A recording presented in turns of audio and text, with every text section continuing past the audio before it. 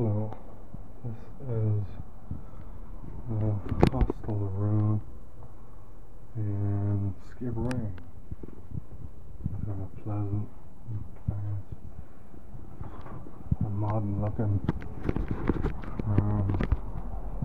Nice view. Oh, I can shoot a house out there. Yeah. I've traveling all day, and I'm gonna go as far as um, Little Islands off Skipperary, which I'm gonna please about. It's a really good journey.